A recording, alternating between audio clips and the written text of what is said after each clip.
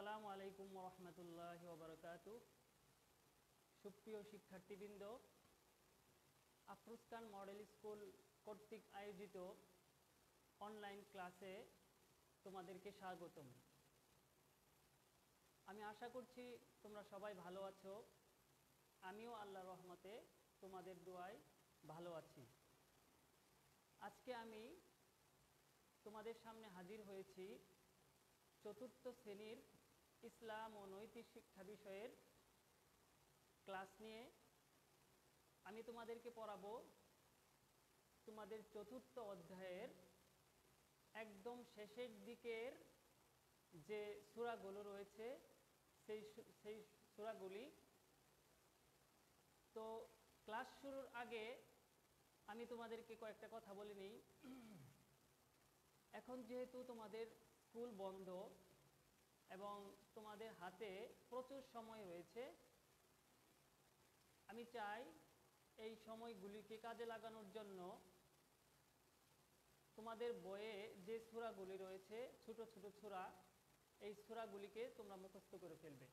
বিশেষ করে পবিত্র কোরআন শরীফের একদম শেষের দিকে যে দশটা সূরা রয়েছে, এই সূরাগুলিকে তোমরা ইচ্ছা করলেই শিখে নিতে পারো। এবং আরও গুরুত্বপূর্ণ যে সূরাগুলি রয়েছে, সূরা ইয়াসিন, সূরা আর রহমান সূরা মুলুক এবং সূরা বাকারার শেষের তিন আয়াত, আয়াতুল কুস্তি সূরা হাসরের শেষের তিন আয়াত, এই বিষয়গুলিকেও তোমরা শিখে নিতে পারো।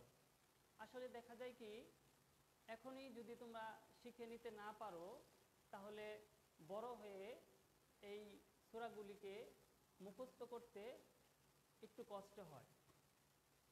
তো তোমরা সবাই বই নিয়ে বসো এবং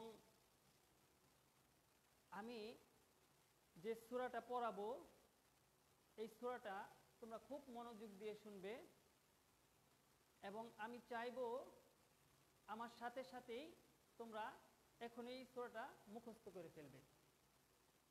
আমি আজকে তোমাদের প্রথমে যে সূরাটা পড়াবো, সূরাটার নাম হচ্ছে সূরা আন্নাসর। এই সূরাটি পবিত্র কোরআনের একশো দশ নম্বর সূরা এবং এটি একটি মাদানী সূরা। এর আয়াত সংখ্যা হচ্ছে তিন। আমরা জানি পবিত্র কোরআনে একশো চোদ্দোটা সূরা রয়েছে এবং হজরত মোহাম্মদ সাল্লাহ আলাইসাল্লাম মদিনায় অবস্থানকালে যে সূরাগুলি অবতীর্ণ হয়, সেই সূরাগুলিকে বলা হয় মাদানী সূরা। আর এই সূরাটাও হচ্ছে মাদানী সূরা। তোমরা দেখতে পাচ্ছ, আমি এই সূরাটা লিখে রেখেছি। এখন আমি এই সূরাটা তোমাদের সামনে তেলাওয়াত করব। তোমরা খুব মনোযোগ সহকারে এই সূরাটা শুনবে। এবং আমার পড়া শেষ হলে তোমরা নিজেরাও এই সূরাটা পড়বে। أعوذ بالله من الشيطان الرجيم. بسم الله الرحمن الرحيم.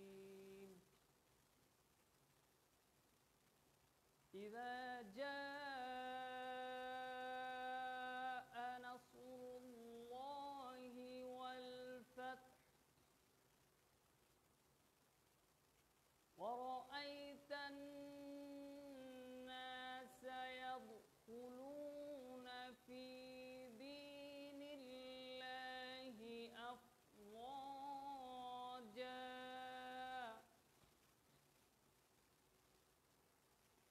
فسبح بحمد ربك واستغفره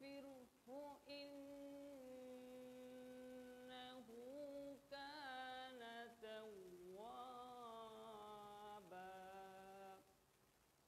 صدق الله العظيم সুপ্রিয় শিক্ষার্থী আমি এই সূরাটা পড়েছি এবং আমি তোমাদের সুবিধার্থে এই সূরাটা আমি আবার তেলাওয়াত করব তোমরা খুব মনোযোগ সহকারে আমার এই সূরাটা শুনবে এবং আমার সূরার প্রতি আয়াতের শেষে তোমরাও আমার সাথে মিলিয়ে নিবে তোমাদের পড়াটা ঠিক আছে কিনা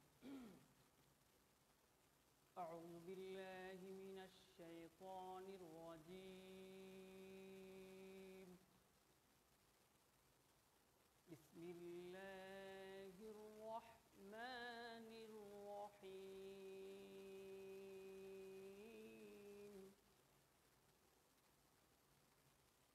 إذا جاء نصر الله والفتح ورأيت الناس يدخلون الله أفواجا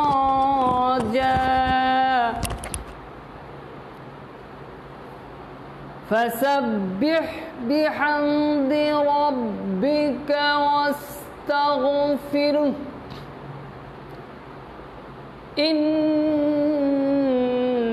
إنه كان توابا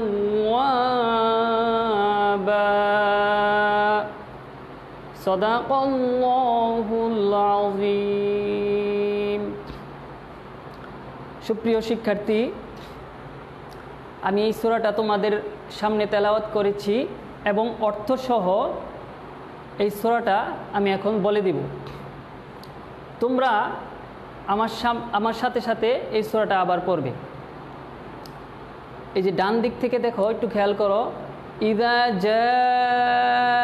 জাসুরুল্লাহি ওয়াল এখানে দেখো, জিমার উপরে একটা চিহ্ন রয়েছে। হ্যাঁ এটা তোমরা এর আগের ক্লাসে পড়েছ মাখরাজের একটা নিয়ম, এখানে চার আলিপ পরিমাণ টানতে হয়। তোমরা যদি তোমাদের বইয়ের মাখরাজের অংশটা খুব ভালোভাবে পড়ো, তাহলে তোমাদের পড়াটা আরও অনেক সুন্দর হবে।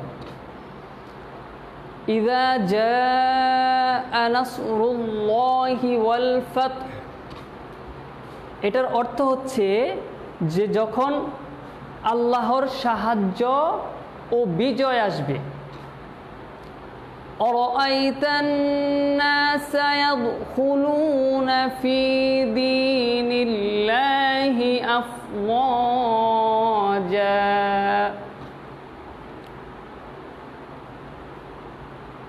এবং তুমি মানুষকে দলে দলে আল্লাহর দিনে প্রবেশ করতে দেখবে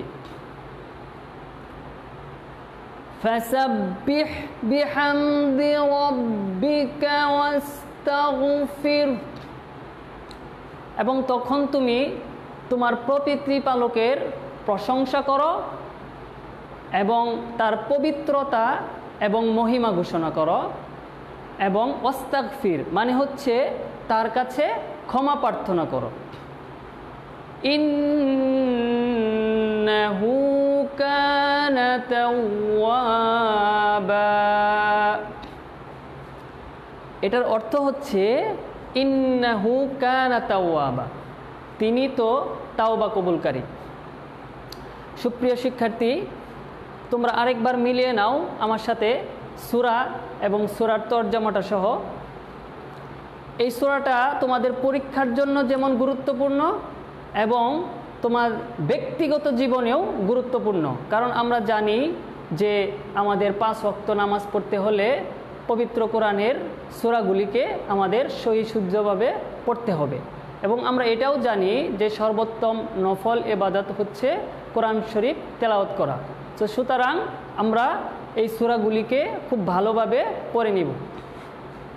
আমি আবার পড়ছি ইদা জাসরুল্লাহি ওয়াল ফাতহ যখন আল্লাহর সাহায্য ও বিজয় আসবে أرأيت الناس يدخلون في دين الله أفواجا এবং তুমি মানুষকে দলে দলে আল্লাহর দিনে প্রবেশ করতে দেখবে ফাসাব্বিহ বিহামদি রব্বিকা ওয়াস্তাগফির।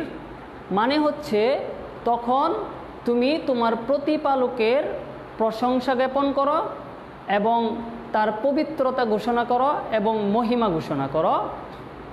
এবং ওস্তাগ ফির মানে হচ্ছে তুমি তার কাছে ক্ষমা প্রার্থনা করো। ইন্নাহু তাওয়াবা। তিনি তো তাওবা কবুলকারী। সুপ্রিয় শিক্ষার্থী আমি আশা করব তোমরা এই সোরাটা এবং সোরার অর্থটা ভালোভাবে বুঝতে পারছ। তো আমি এই সোরাটা তোমাদের শিখার সুবিধার্থে আরেকবার পড়ব।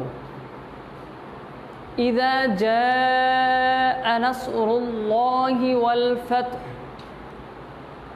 যখন আল্লাহর সাহায্য ও বিজয় আসবে أرأيت الناس يدخلون في دين الله أفواجا এবং তুমি মানুষকে দলে দলে আল্লাহর দিনে প্রবেশ করতে দেখবে ফাসাব্বিহ বিহামদি রব্বিকা ওয়াস্তাগফির তখন তুমি তোমার প্রতিপালকের প্রশংসা করো এবং তার পবিত্রতা এবং মহিমা ঘোষণা করো, এবং তুমি তার কাছে ক্ষমা প্রার্থনা করো। ইন্নাহু কানা তাওয়াবা। তিনি তো তাওবা কবুলকারী। সুপ্রিয় শিক্ষার্থী, আমরা এই সূরাটা পড়লাম। আমরা এখন তোমাদের বইয়ে যে এর পরের আরেকটি সূরা হচ্ছে সূরা লাহাব।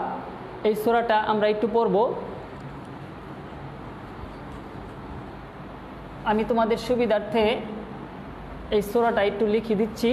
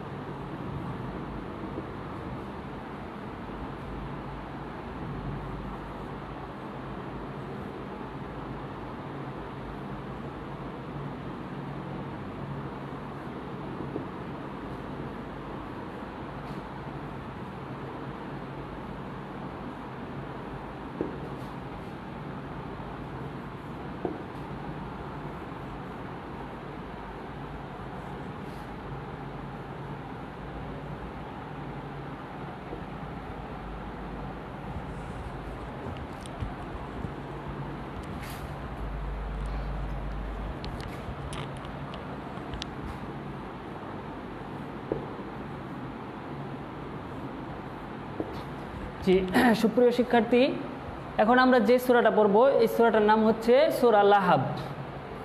এটি পবিত্র কোরআনের একশো এগারো নম্বর সূরা। এই সূরাটি পবিত্র মক্কানগরীতে নাজিল হয়েছে এবং এর রুকু সংখ্যা এক, আয়াত সংখ্যা হচ্ছে পাঁচ।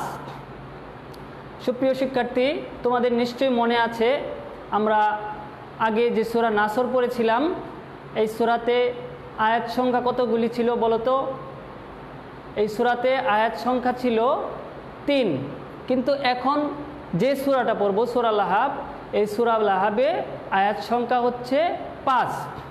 এবং সূরা নাসরের নাজিল হয়েছিল পবিত্র মদিনা নগরীতে এবং সূরা লাহাব নাজিল হয়েছে পবিত্র মক্কা নগরীতে। এখন এই সূরাটা আমি তেলাওত করব। এবং তোমরা খুব মনোযোগ সহকারে আমার পড়াটা শুনবে কারণ দেখা যায় কি অনেক সময় শুনতে শুনতেই অনেক কিছুই মুখস্থ করে ফেলা যায় তোমরা বই দেখে দেখে আমার পড়াটা একটু শোনো أعوذ بالله من الشيطان الرجيم بسم الله الرحمن الرحيم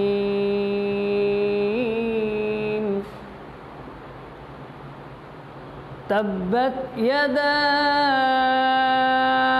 أبي لهب وتب. ما أغنى عنه ماله وما كسب. سيصلى نارا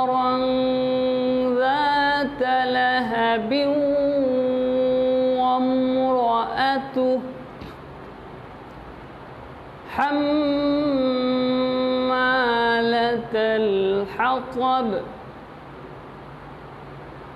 في جيدها حبل من مسد صدق الله العظيم সুপ্রিয় শিক্ষার্থীরা আমি তোমাদের সুবিধার্থে আবারও এই সোরাটা তেলাওয়াত করব তোমরা খুব মনোযোগ সহকারে আমার সোরাটা শুনবে এবং বইয়ের সাথে মিলিয়ে নিবে বিসমিল্লাহির রহমানির রহিম تبت يدا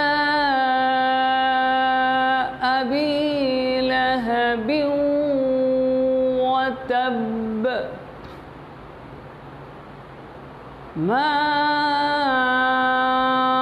أغنى عنه ماله وما كسب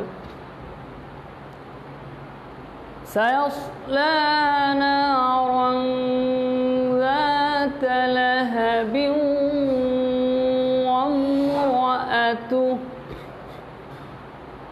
حمالة الحطب في جيدها حبل من مسد সুপ্রিয় শিক্ষার্থীবৃন্দ এখন আমি এই সুরাটার অর্থ বলে দিব তো তোমরা যারা আমার সামনে বই নিয়ে বসেছো এই বইয়ের সাথে অর্থটাও মিলিয়ে নাও সুরাল্লাহ হাবের প্রথম আয়াতের যে অর্থ, সেটা হচ্ছে, তাব্বাত ইয়াদা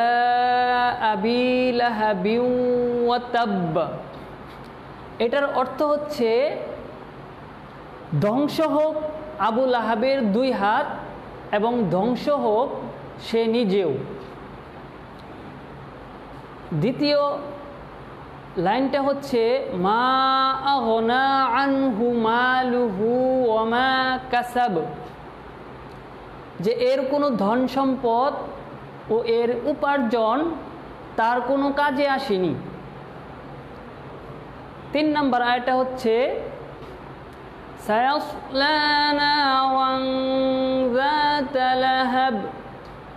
যে অচিরেই সে ধ্বংস হবে, লেলিহান অগ্নিতে وامرأته حمالة الحطب এবং তার স্ত্রীও যে ইন্ধন বহন করে ফি জিদিহা হাবলুম মিম মাসাদ তার গলদেশে পাকানো রজ্জু সুপ্রিয় শিক্ষার্থীবৃন্দ আমি আবারও বলছি এই সুরার আয়াত তোমরা তোমার বইয়েদের বইয়ের সাথে আমার এই অর্থগুলি একটু মিলিয়ে নাও تبت يدا أبي لهب وتب যে ধ্বংস হোক আবুল আহাবের দুই হাত এবং ধ্বংস হোক সে নিজেও। মা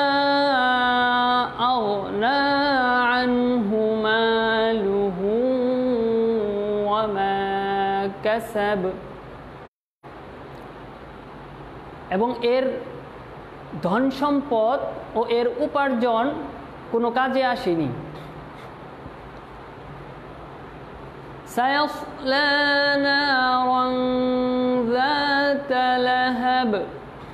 এবং অচিরেই সে ধ্বংস হবে লেলিহান অগ্নিতে وامرأته حمالة الحطب এবং তার স্ত্রীও যে ইন্ধন বহন করে في جيدها حبل আসাদ এবং তার গলদেশে পাকানো রজ্জু তো সুপ্রিয় শিক্ষার্থীবৃন্দ, তোমরা বাসায় অবশ্যই এই দুইটা সুরা অর্থসহ লিখবে এবং এই সুরাগুলি তোমরা শিখে রাখবে। তোমাদের যখন পরবর্তীতে স্কুল খোলা হবে, তখন আমি এই তোমাদের খাতা দেখব এবং তোমাদের এই সুরাগুলিকে শুনব। এখন আমি তোমাদের আরেকটা সুরা পড়াবো। এই সুরাটির নাম হচ্ছে সুরা ইখলাস। আমি একটু তোমাদের ব্ল্যাকবোর্ডে লিখে দিই।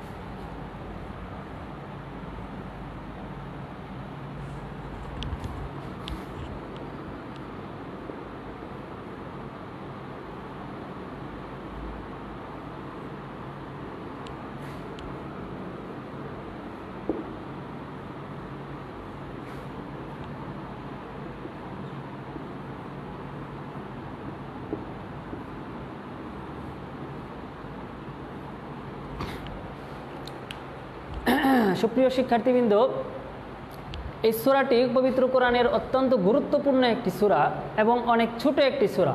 আশা করি তোমরা সবাই পারো এই সুরাটি এবং আমার সাথে সুরাগুলি তুমি তোমরা মিলিয়ে নাও। এই সুরাটির আয়াত সংখ্যা হচ্ছে চার এবং এই সুরাটিও পবিত্র মক্কানগরীতে অবতীর্ণ।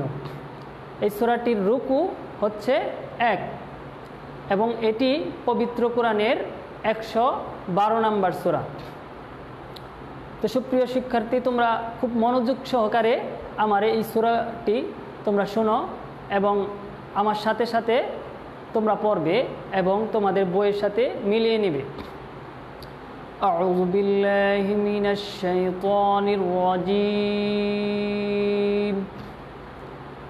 بسم الله الرحمن الرحيم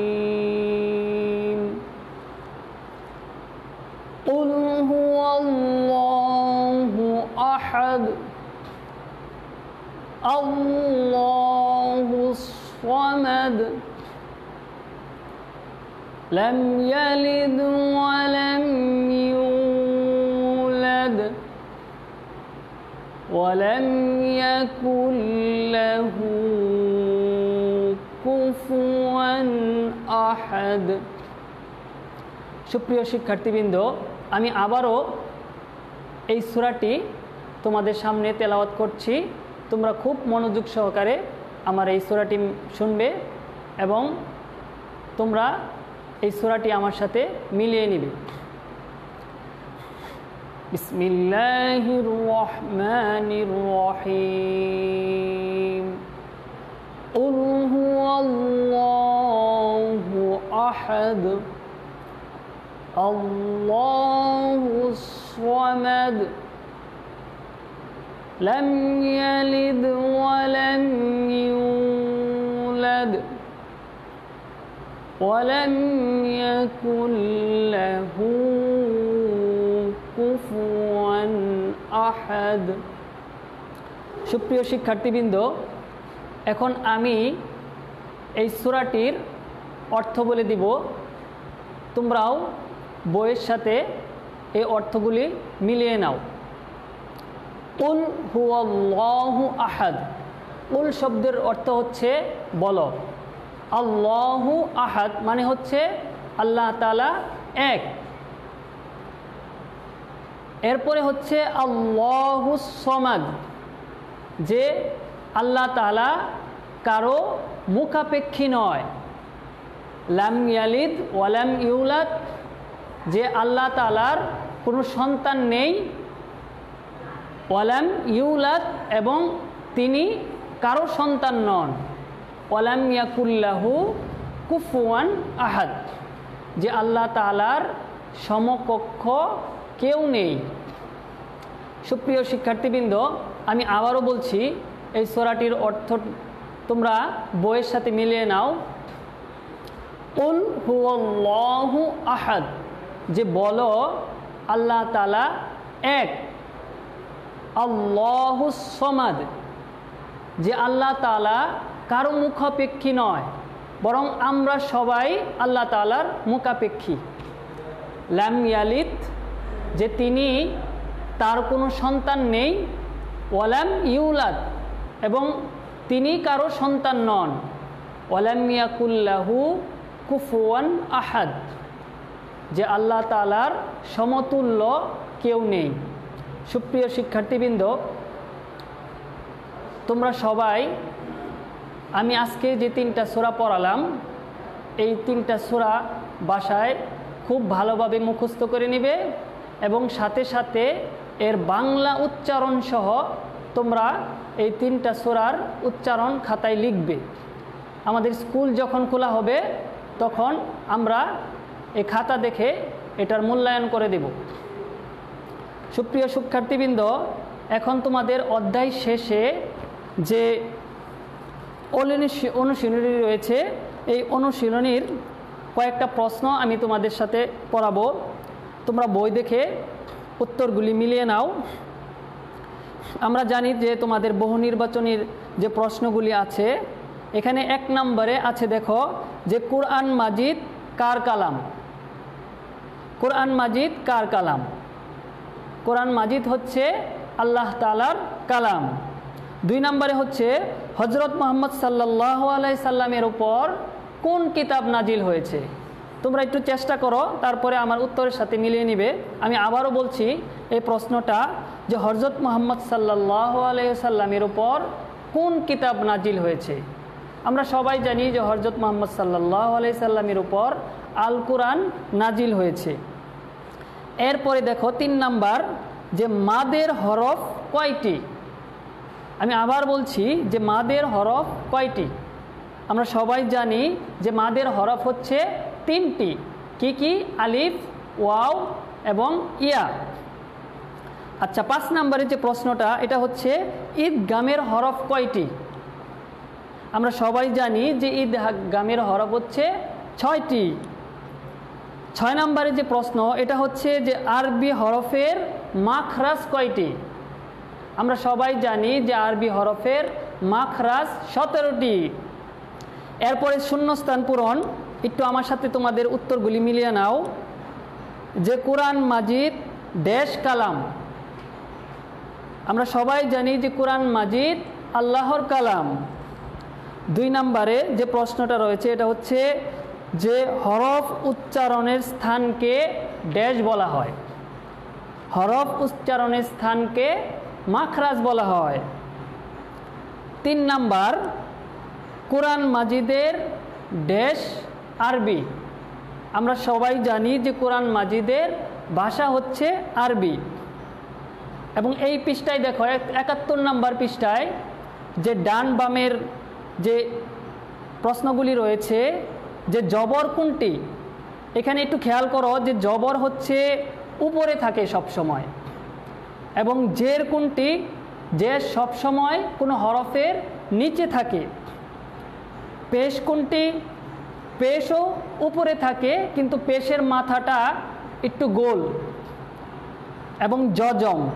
জজম দেখতে অনেকটা ঘরের চালের মতো, অথবা তোমরা উল্টা ভিও বলতে পারো। এবং তাসদিদ কোনটি? তাসদিদ হচ্ছে যে ডব্লিউ আছে না ডব্লিউ এর মতো। এবং তানবিন, আমরা জানি যে দুই জবর, দুই জের এবং দুই পেশকে তানবিন বলা হয়। সুপ্রিয় শিক্ষার্থীবৃন্দ, এখন আমরা সংক্ষিপ্ত প্রশ্নের উত্তরগুলি পড়ব। তোমরাও আমার সাথে মিলিয়ে নাও।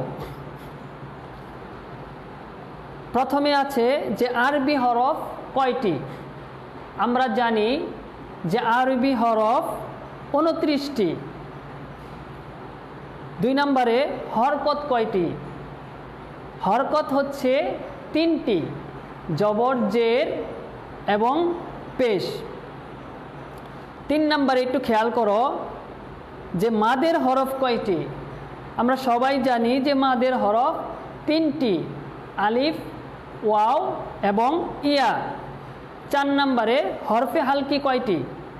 হরফে হালকি আমরা সবাই জানি, ছয়টি। পাঁচ নাম্বার একটু খেয়াল করো, যে সাকিন কাকে বলে? আমরা যে সবাই জানি যে যজমযুক্ত হরফকে সাকিন বলা হয়। সুপ্রিয় শিক্ষার্থীবৃন্দ, আমি যে তোমাদের তিনটা সুরা পড়ালাম, এই তিনটা সুরা তোমরা সবাই শিখে নিবে এবং এর বাংলা উচ্চারণ সহ খাতায় লিখে রাখবে এবং তোমাদের অনুশীলনীর যে বর্ণনামূলক প্রশ্নগুলি রয়েছে, এগুলি সবাই তোমরা খাতায় শিখে লিখে রাখবে। আমাদের স্কুল যখন খোলা হবে, তখন এটা আমরা দেখে তোমাদের মূল্যায়ন করে দিব। তোমরা সবাই ভালো থাকবে। আল্লাহ হাফেজ। আসসালামু আলাইকুম রহমতুল্লাহি ওবরকাত